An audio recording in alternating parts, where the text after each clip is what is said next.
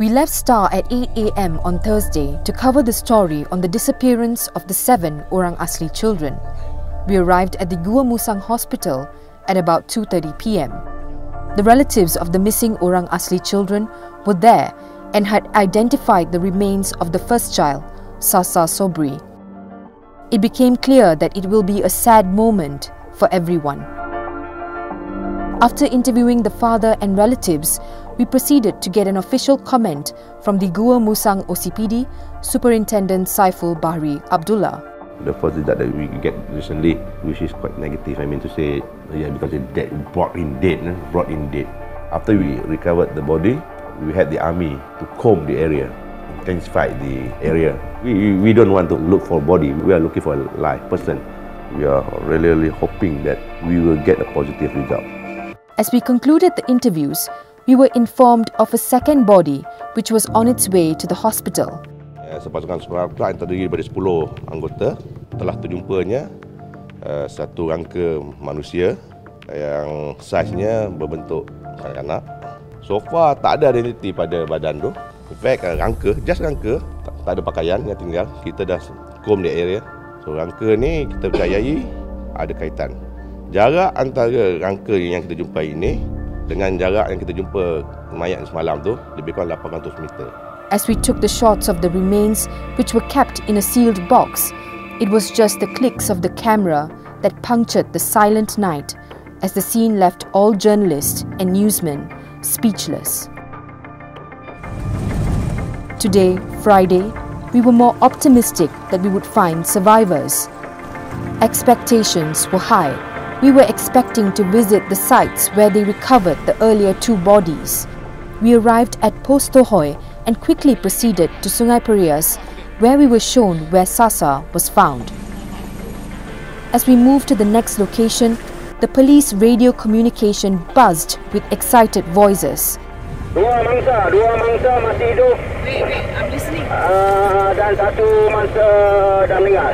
They had discovered two children who were alive, but another did. The media went into a frenzy with the new development.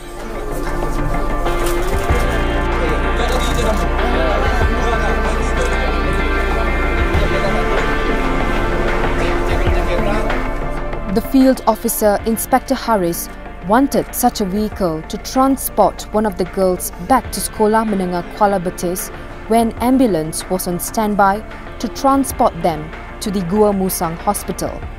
Azam asked me if I was ready to carry one of the girls on my lap. I said, Of course, let's go.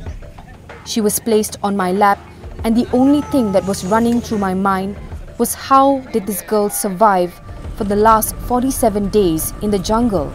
Kita transfer ke sampai ke Kuala Ya sayang, ya ya betul. Ah, Okey. Ah, okey. As we drove back to Pos Tohoi, I could not control my emotions when I saw the girls. She was weak, could barely speak, but she gave me a smile and held my hand tightly.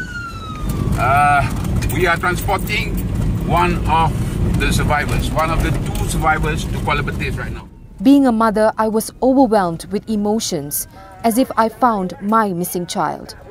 Throughout our 30 minute journey, she was in pain and kept complaining about the sun and kept saying, Saya lapar, saya lapar. Selamat ayam. Sampai ke kita. Nasi ayam. Ya, ya. Goreng. Nasi goreng. Dengan telur. Goreng. As she was on drips, I could not offer her anything to eat. I said, Ade, you cannot eat all of that now, and you will have to go to the hospital first. But I told Ima I will come and visit her before I leave to fulfill her request. I asked her who was the friend found with her. She just kept quiet.